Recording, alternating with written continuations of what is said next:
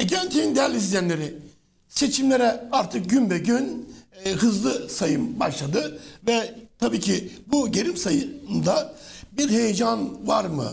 E, alanlarda, köyde, kasabada ben bir heyecan göremiyorum ama bugün biraz heyecanlıyım. Çünkü Sayın Adnan Keskin konuğum, eski Bayındırlık Bakanı ve Cumhuriyet Halk Partisi eski Genel Başkan Yardımcısı. Sayın Bakanım hoş geldiniz. Hoş bulduk. Öncelikle Denizli'ye de hoş geldiniz. Hoş bulduk. Size de güzel yayınlar diliyorum. Yeni oluşturduğunuz kurumunuzun başarıya ulaşmasını diliyorum. Ülkemizde demokrasinin yerleşmesine katkılarınız olacağına inanıyorum. Türkiye'de maalesef siyaset insanları kendi localarında kaplaştırarak karşı kampların birbirine çarpışmasını sağlayacak bir siyaset üslubuyla gidiyor. Türkiye'nin aksine yumuşamaya, sevecenliğe, barışa, karşı düşünceye, karşı anlayışlara saygı duyması gerektiği bir ortam yaratıyor. Çünkü dünyanın dünyanın hemen hemen büyük bir takım ülkesiyle ilişkilerimiz kesildi. Güneyimizde hala sıcak çatışma ihtimalleri yaşıyoruz. Batımızda Yunanistan, Amerika Birleşik Devletleri, NATO'nun ruhuna aykırı bir şekilde NATO üyesi olan bir Türkiye'ye karşı ciddi bir şekilde silahlandırıyor. Teknolojisi yeni silahlar veriyor. Örneğin Türkiye vermediği F-35'lerin gerekçesi bizim Rusya'dan savunma sistemi almamıza olarak gösterdi. Ama aynı e, Amerika Birleşik Devletleri Yunanistan'a bizim aldığımız savunma sisteminin bir derece teknik üstün olan savunma sistemini aldı. Onları sırtına uçluyor.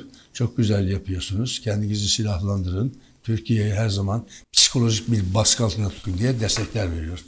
Böylesine kritik bir süreçten geçerken siyasetçilerin, devlet adamlarının kendi düşüncelerini topluma yansıtırken karşı tarafı bir kamplaşmaya, düşmanlığa, dışlatmaya yönelik üsluplardan vazgeçmesi gerekiyor. İşte ekonomimiz çökmüş durumda. Dış politikada dünyada yalnızlaştık. Bunun aşılmasını sağlayacak olan siyasi partilerin liderleri, yönetim kadrolarıdır. Bu sorumlulukta her birimizin özellikle Ramazan ayına denk gelen bu seçimin Ramazan'ın ruhuna ve amacına uygun bir süreçte devam etmesini sağlayacak yaklaşımlar sergilememiz gerekiyor. Temennim şu ana kadar gittiğim yerleşim alanlarında bir sertlik, bir kart çok hız, katı kutuplaşma görmedim. Bu beni gerçekten 52 yıldır siyasi içinde bir insanı çok mutlu etti beni. Vatandaşlarımızın bu konuda sağduyu sahip olduklarını, siyasi polemiklerin çok tutsağı olmadığını saptadım. Bu Türkiye'nin hem demokrasi hem ülkesi hem iç barış için olağanüstü güzel bir gelişme. Bu anlayışta olan bütün yurttaşlarımızı gönülden selamlıyorum. Seçimlerin ülkemize barış getirmesi, mutluluk getirmesi, sevgi getirmesi için özen gayretlerini sürdürmesini temenni ediyorum. Bu vesileyle sizin de aracılığınızla bütün Denizli arkadaşlarımızın, yurttaşlarımızın, hemşerilerimin bayramını kutluyorum. Bayramı bayram anlamına uygun bir şekilde yürütmelerini evet. temenni ediyorum. Sevgiler ve saygılarla selamlıyorum. Sayın Bakanım, şimdi dün Cumhurbaşkanı Recep Tayyip Erdoğan Deniz'deydi. Evet. Ve Deniz'deki mesajlarından biri dedi ki Cumhuriyet Halk Partisi yani Bay Kemal Kandil'le iş tutuyor. Evet. Şimdi siz de 52 yıllık siyasetçi olarak gerçekten Bay Kemal Kandil'le iş tutuyor Şimdi bir şey söyleyeyim. Ben Cumhuriyet aşığı bir adamım. 52 yılda çizgimi saptırmadan Cumhuriyet Halk Partisi siyaset yapıyorum. Cumhuriyet Halk Parti'yi tercih etmen bireysel çıkarlar değildir. Mustafa Kemal'ın kurduğu bir parti olarak onun hedeflerini Cumhuriyet Halk Partisi'nin programına yerleştirdiği için Cumhuriyet Halk Partisi. Bakınız Mustafa Kemal o kadar büyük bir adammış ki Suriye'de yaşanan vahşeti 100 yıl evvel görmüş. 100 yıl evvel. Orada İslam'ın iki farklı yorumu var. Biri Şiiler, biri Sünniler. Gelin ülkemize İslam'ın dört tane yorumu var. Şafiler, Hanbeliler, Aleviler, Sünniler. İki mezhep bulunduğu bir ülkede bir mezhep, bir inanç grubu diğer inanç grubunu kendi dinini karşında olarak yorumluyor ve eline satır alıyor, tekbir getirerek Allah adına insanları öldürüyor. Bu vahşetten örnek almamız gerekiyor. Bu vahşetin Mustafa Kemal'in dehası, devletin temine yerleştiği laiklik ilkesinin Türkiye'nin barışının güvencesi olduğu bilincine ulaşmamız gerekiyor. İki, dünyada görülmemiş bir etnik topografyamız var. 17-18 tane farklı ırktan insanlar var. Bu farklı ırkların birbirine karşı benim ırkım üstün diyerek diğerlerin üzerine baskı kurması, şiddet uygulaması engellemek için de vatandaşlık getirmiş. Türkiye Cumhuriyeti iki anal temeli var. Biri laiklik, biri vatandaşlıktır. Vatandaşlık da ne?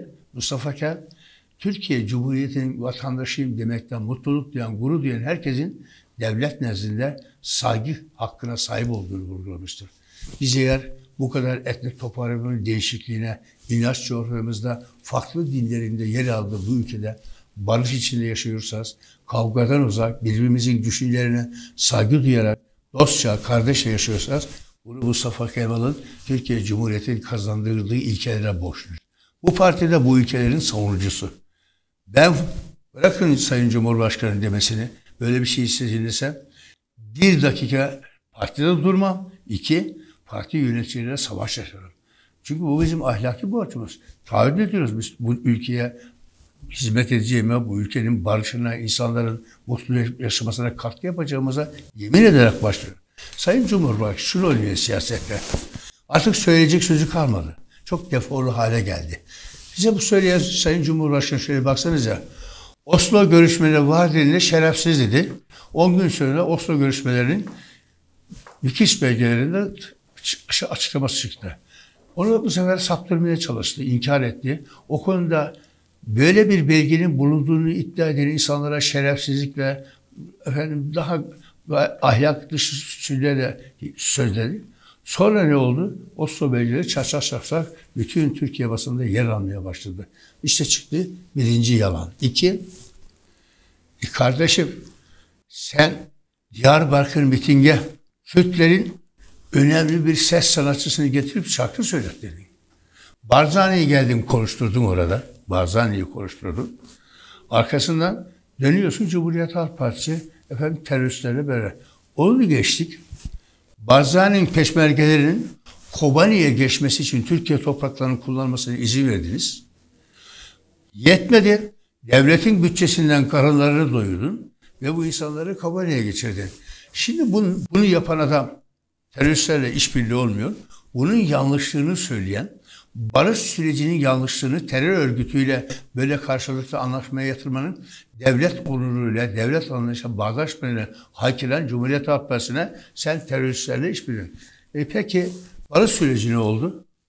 Evet. Başlattığın süreci valiliklere, kaymakamlıklara talimat verdin.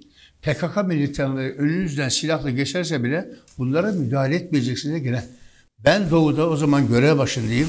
Gittiğim bazı yerleşim alanlarında PKK militanların ve omuzlarına silahlarla kamu kuruluşlarının önünden geçtiğini gördüm. Orada görevlilere sorduğumda şu yanıtı aldım. Yukarıdan bize bu talimat verildi dedi. Ve Türkiye niye mağlup? Peki burada Cumhuriyet Halk Partisi yetkilileri kendisini tam anlatamıyor mu? Yok anlatmamak değil. Şu evet. şu. Bir iktidar, yani sen bir politikada hayır, bir, bir şeylik sessizlik var. Bir yok, suskunluk var. Suskunluk değil. Yani açıklanıyor zamanda yani düşün bir şu barış süreciyle Cumhuriyet Halk Partisi söyledikleri bir arşive bakın görün. Bangın bağrı bağırdı. Demokratik bir ülkede devlet olarak terörist örgütle aynı masaya oturmak skandaldır, yanlıştır dendi. Evet. Ama kimse dinlemedi. O zaman da Cumhuriyet Halk Partisi'ni barışın gerçekleşmesini engellemeye çalışan bir siyasi, bir siyasi kuruluş olarak niteledi. Cumhurbaşkanı siyaset anlayışı şu. İnsanları kutuplaştıracak. Herkesin kendi partisinin, kendi lobisinin içinde karşıya düşmanca bakan bir yapı oluşturmaya çalışıyor. Ha, hedefi budur. Artık siyasette toplumu tatmin edecek. Verdiği sözlerini yerine getirecek konumdan çıktı. Bakın 2022'de taahhütlerimin bir tanesi gerçekleşmedi. İki iş başına geldiği günden beri söyledikleri hangisi gel? Enflasyon ortadan kalktı mı? Evet. Fakir fukara mutluluğa kavuştu mu? Çiftçi başkasına muhtaç olmuş, olurca yaşayabilecek bir fırsat yakaladı mı? İş adamlarımız dünyada ser, kendine güvenerek, ülke insanına, ülke potansiyeline güvenerek ticaret yapabiliyor mu? Sanayicimiz katma değer yaratacak bir yeni bir sanayi oluşturmak fırsatını yakaladı mı? Türkiye her yönüyle çöküntüye gitti. Artık dünya emek ağırlıklı kuruluşları sanayi falan görmüyor. Tekstil, mekstil dünyada emek ağırlıklı bir kuruluşlar olarak değerlendiriyor. Adam iletişimde, her türlü tıpta, her alanda. Bak geçenlerde Babadağ'a gittim. Orada bizim bir partili arkadaşımız var. Kahveden sonra abi seni bir atölyeye getireyim diye. Götürdü beni. Dakikada 600 veya 600 küsurun üzerine mektup vuran şey, biliyor musun? Tezgahlar var. Hala Türkiye 150 veya 170 vuran İsveç markalı tezgahları görüyor. O saatte dokuyu 100 metre, sen dokuyu 10 metre. Dünya piyasasına çıktığın zaman fiyat var. O nasıl nasıl karşılıyor bunu? Şu an çalışan insanlar Türkiye'nin yarısı sosyal güvenlik şemsiyesinin dışında. Devlet bunu görüyor, biliyor ama hiçbir zaman bunların şemsiye altına girmesine girişim yapmıyor. Niye? Oradan sağladığı primle, imkanla yurt dışına ihracatta kolaylığı olsun diye. Şimdi bitmiştir yanlış politikalar. Dünyada likidlerin bol olduğu dönemlerde paranın yatırım yapacağı ülke aradığı süreçlerde maalesef bizim yönetimimiz, Sayın Cumhurbaşkanı ve kadrosu o imkanları, kaynakları betona gömerek, kentlerimizde çok katlı binalar yükselerek, hatta yetinmeyerek seçim malzemesi olarak insanların can güvenini tehlikecek imar afla çıkarak siyaset yapmaya çalışıyor. Cumhuriyet abi şaşı 16-17 tane televizyon yayın kuruluşu var iktidarın emrinde. İki, devletin olanakları, kurallar çiğnenerek hoyratça kullanılıyor. Cumhurbaşkanı İletişim Merkezi diye bir kuruluş var. Allah selamet versin. Her tarafa kol atıyor. Gidiyor ama kendisi hazine arasını kapatarak binasının güvenliğini sağlıyor. Buna itiraz eden Cumhuriyet Halk Partisi'nin İstanbul İl Başkanı da sanki büyük bir suç işlemiş ki yargıya sevk ediyor. Yargıda kadın mahkum edilmeye çalışıyor. Peki Sayın Bakan, yargı ve adalet bugün uygulanıyor mu? Yok. Anayasa uygulanıyor mu? Bırakın ya, ya şeyi anayasını uygulama. Yargı diye bir kavram kalmadı. Yargı kalmadı. Mahkeme, mahkemelere gidin. Adalet mülkün temelidir diyor. Yani adalet bir ülkede varsa devlet yurttaşa karşı sorumluluklarını gereğini yerine getirebilir. Devlet olmanın verdiği imkanlarla yurttaşlarını mutlu bir yaşama kavuşturur diyor. Şimdi Allah'ını severseniz İstanbul Belediye Başkanı'nın yargılandığı davaya bakın. Bir hakim bakarken istihbaratlar geliyor. Adama baskı yapıyorlar. Adamın baskıya boyun eğmemesini tayin ediliyor. Bu konuda talimatların gereğini buyruk olarak kabul eden insanlar atanıyor oraya ve İstanbul Belediye Başkanı potansiyel, muhtemel Cumhurbaşkanı adaylığının öyle bir ses çekiliyor kendilerine göre. Karar hala çıkmıyor. Aday olsaydı hiç kuşkum yoktu. Seçimin başlamasından 3 gün 5 gün sonra yargı kararı tasdik edecekti. Ekrem İmamoğlu da sen aday olamazsın diye pusula verip belediye başkanına geri gönderecekti. Yargı diye bir kavga mı? Çok da örnekleri var. Bak bir şeyler söyleyeyim size. Peki tam bu noktada çok özür dilerim. Anayasa itiraz edildi. Aday olabilir olmaz gibi itirazlar vardı ve ama aday oldu. Siz deneyimli bir hukukçu olarak bu anayasaya göre e, normal midir aday? Hayır. Bir kere çapsızlıkları, beceriksizleri bu yasanın düzenlenmesine çıkıyor.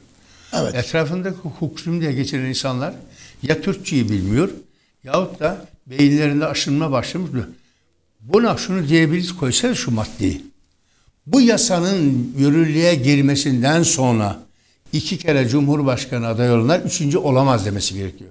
Yasanın Türkçenin kurallarını. Yazım hatası var diyorsun. Yazım hatası var. Be- be- becerisizlik var. Şimdi o becerisizliği kurumları kullanarak tarafsız olması gereken geçmişte ciddi bir tike sabıka kaydının çok arttığı seçim kuruluna yüklüyor. Bundan evvelki seçimlerde dünyanın neresinde görülmüştür? Mühürsüz oy pusuların geçerli sayıldığı, demokrasinin görüldüğü, hakların korunduğu ülkenin hiçbirinde bunu göremezsiniz. Ama Yüksek Seçim Kurulu maalesef atama biçimiyle oraya göreve getirilmesine Cumhurbaşkanı'nın tek seçici olarak görev yapması nedeniyle çıktılar. Mühürsüz oy pusularını kabul ettiler ve belediye seçimine biliyorsun ciddi bir şekilde gölge, gölge düş- düşürdüler. Şimdi böyle bir kuruldan zaten ne bekliyorsunuz tarafsız? Baş Peki bugünkü seçimde de e, yine mühürsüz pusulalar ne bileyim bir adaletsizlik Bakın bir şey bekliyor musunuz? Fatih Portakal izleyebildim ben. Göreve geldiğinden beri sürekli bir şekilde Yüksek Seçim Kurulu'nun bu konuda bir açıklamasını istedi. Televizyonlar tüm Türkiye'ye hitap ederek bir Sayın Yüksek Seçim Kurulu bu seçimde de mühürsüz oy pusuları geçerli sayacak mısınız diye hala cevap yok. Hala Peki siz de Egemen TV'den soruyor musunuz? He? Mühürsüz oylar sayılacak mı? Siz Adnan Keskin Vallahi olarak ben da soruyor Hayır, musunuz? bu sistem değişmediği sürece Evet. insanların bütün kamusal görevlerini tek bir şekilde düzenli bir ortamda insanları da suçlayamıyorum. İnsanların sıkıntıları olur, hakimin, savcının da sıkıntısı vardır, çocuğu okuldadır. Böyle zor hayatın sürdüğü bir ülkede herkesten affedersin dik dik beklemek de bir şey yapamıyor insanlar. Niye? Örnekleri var. Bir karar çıkmayınca tak atıyordu. Şu olur mu? İstanbul savcısını Yargıtay'a getirdi. Bir gün bir karara imza etmeden İstanbul Savcısını Anayasa Mahkemesi'ne atadı. Hangi ülkede böyle bir şey var? Bir insanın bir yere atanabilmesi için bir performansının, bilgisinin, becerisinin hukuk kurallarına uygun olup olmadığını görürsünüz. Onun background'u Anayasa Mahkemesi'ne gitmeye uygunsa atama yapar. Cumhurbaşkanı yapmadı. Şahsım devlet olduğu için devlet benim istediğimi atarım, istediğimi keserim diye kalktı İstanbul Savcısı beyefendiyi direkt ben Anayasa Mahkemesi'ne atadı. Böylesine kuralların işlemediği bir yargı düzenlemesinden objektif, haksız, tarafsız bir davranış beklemek hayaldir. Hayaldir diyorsun. Peki e, bu kadar olumsuzluğun üzerine Bay Kemal'in ittifakla ilgili yaptığı çalışmaları eski bir genel başkan yardımcısı olarak nasıl değerlendiriyorsunuz? Bakın ben sözlerin başına dedim ki Türkiye'nin barışa ihtiyacı var, birlikteliğe ihtiyacı. Geçmişteki Sayın Cumhurbaşkanı'nın bu kaplaşması nedeniyle kendi içinde görev yapan insanlarla bile savaş açtı. Başbakanlık yapan Davutoğlu'nun yönetiminde bulunduğu bir üniversitenin arazisinin için AK Parti'de kullanılan para hırsız dedi kendi başbakanına.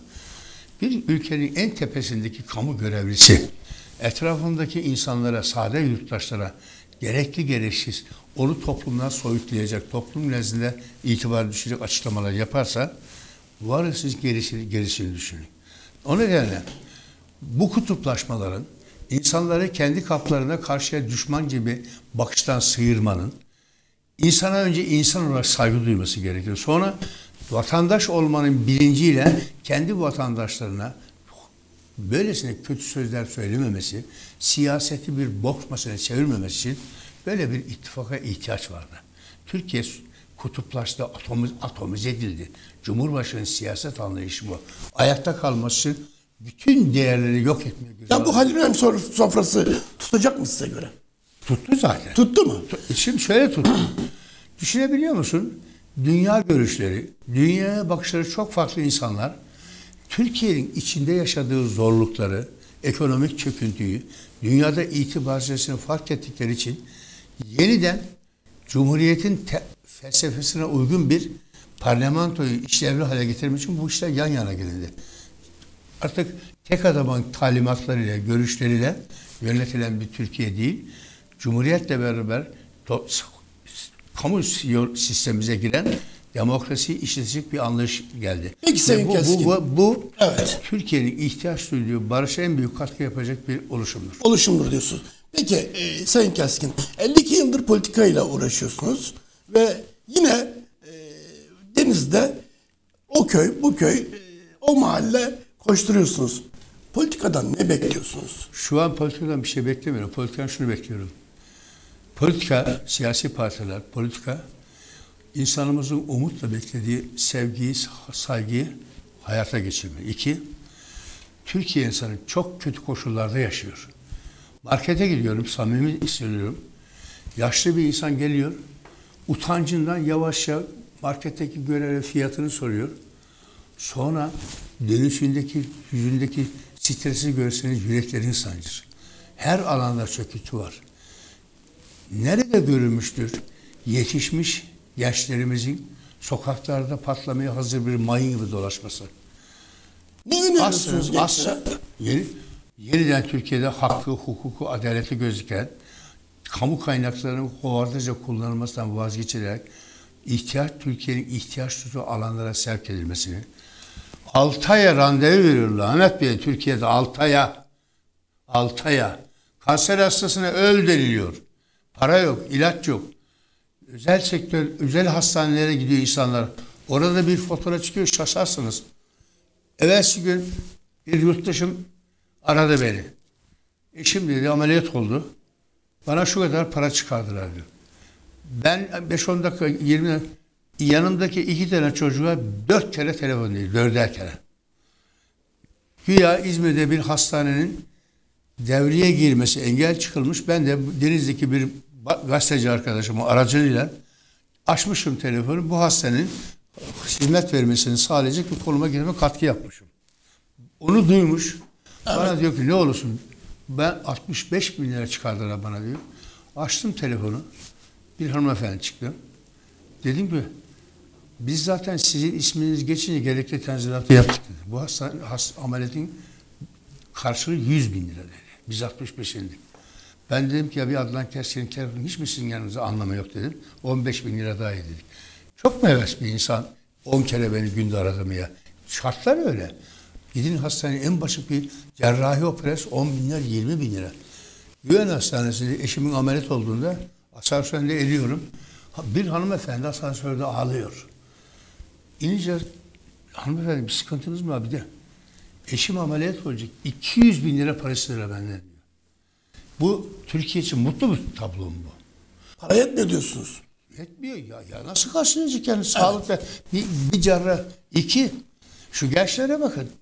Açlık Türkiye'de üniversite açıyoruz diye sevindik.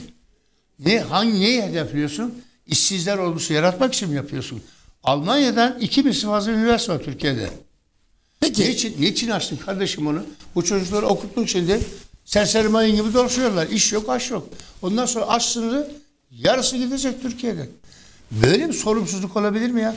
Doktorlara giderse gittin, gitti. Elin oğlu gavur akıllı.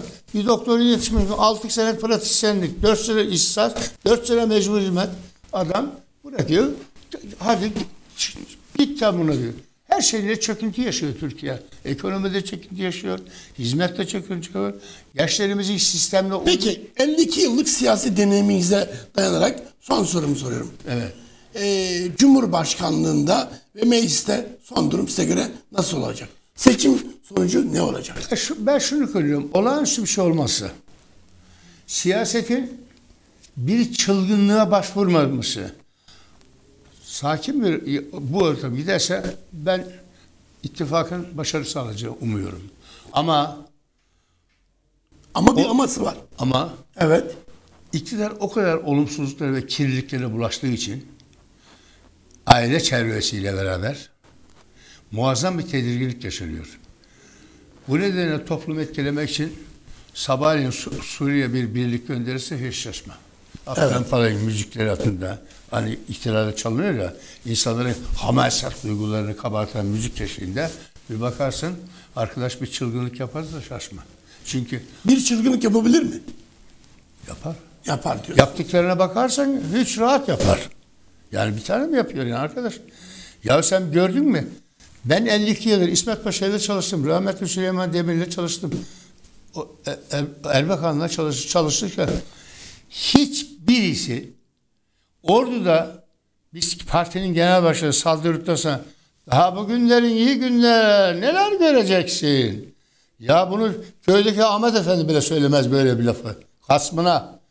Ya kardeşim o makama gelmiş bir insan bir siyasi partinin genel başkanına nasıl, hangi vicdanla, hangi akılla, hangi ülkü çıkarıyla kalkıyor, hedef gösteriyor? Böyle bir şey olabilir mi? Yapılanlara bakın. Peki bu deneyimle e, parti teşkilatlarınıza ve gençlere ve biz e, basın mensuplarına ne öneriyorsunuz? Ben dediğim şu. Basın tarafsız bir şekilde, objektif bir şekilde sağında solunda haberleri versin. İki, gençlerimize, bütün yurttaşlarımıza, parti tabanımıza tahriklere kapılmamaları diliyorum. Siyasal ekler insanları kavga ettiren, kamplarına hapsedip kamplardan birbirine saldırmayı hedefliyor. Güttüğü siyaset stratejisi bu. Bu oyunu bozmak gerekiyor. O zaman sataşmalar olabilir. Hakaretler de söz konusu olabilir. Orada sağduyularına hakim, iradelerine hakim olarak bu şiddetin, bu politikanın alet olmamak gerekiyor. Tarafsız, objektif, karşı partilerinde görüşlerini, önerilerini, programlarını Türkiye'de tanıtma ve yerleştirme hakkını kabul ederek medenice, çağdaş bir topluma yakışan bir şekilde siyaset yapmaları diliyorum. Peki Sayın Keskin son sorum. Ee, listeler işte bu altılı bir ittifak oldu ve listeleri beğenmediği için de parti tabanındaki Küsenler var. küsenler var. Haklısın. Sandığı gitmeyeceğiz diyenler var. Siz Adnan Keskin olarak ne diyorsunuz? Şimdi bakın bir ittifak kurmuşsunuz. İttifakın kendine göre kuralları vardır. Farklı dünya görüşünde olan siyasi partiler ülkenin genel çıkarları için, ülke insanın mutluluğu için yan yana gelmişler. İttifak deyince sanki karşı partinin bütün hakları buharlaşarak teslim olmuş bir duruma gelen parti, partiler birliği gibi anlaşıyor. Öyle değil olay. İttifak yapmışsın, kuralları koymuşsun. Herkes kendi adayını özgürce saptayıp ittifak bi- birimine bildirmesi gerekiyor. O nedenle şu kondu bu kuruldu. Şimdi çok şikayet edilen ha- hanımefendiyle ilgili haksız ve hukuksuz bir sürü laflar çıkarılıyor. Kardeşim o kadıncağız Cumhuriyet Halk Partisi'nin adayı değil ki o hanımefendi. O kendi partisinin adayı. Kendi partisi onun performansını, siyasi birikimini uygun bulmuş. Cumhuriyet Halk Partisi demiş ki, kardeşim yaptığımız anlaşma ittifak gereği şu hanım kızımızı sizin listesine koyuyorum demiş. Artık bu ittifakın gereği bu. E sen buna hayır dediğin zaman kurduğun ulusumuzun geleceği için olağanüstü önemli olan bu ittifaka dinamit koymuş olsun. Bütün arkadaşlarımızın olaya böyle bakması gerekiyor. Bazı siyasi hırslarına esir olanlar, siyasetçiler kalkıyorlar bunu. Sanki büyük bir usulsüzlük, yolsuzluk, kendi parti tabanına ihanet edilmiş gibi takdim ederek prim toplamaya çalışıyor. Bunlar da kınıyorum. Ayıp şeyler bunlar. 21. yüzyıl siyaset yöntemi bu olmamalı. İnsanlara, halka doğruyu yansıtarak siyaset yapmalıyız. Bu ülke yanlışlıklarla, haksızlıklarla çok kötü acılar yaşandı. İnsanlar öldü. Binlerce gencimiz tam hayata atılma çağında hayatlarını kaybettiler gittiler. Bunlardan da ders alarak bu ittifakın önemi gör. Var mı demokrasilerde bir genel başkan daha sen evlenmedin yaşın yok diyecek. Bakın karşı tarafta saldıranların haline. Sonra da bu laflar edilmemiş gibi bütün hepsini yalayıp yutacağız. Gel bakalım kardeşim ittifak yapıyoruz. Ona, onu değerlendirsin. Buradaki yapılan ona göre değerlen, değerlendirsin.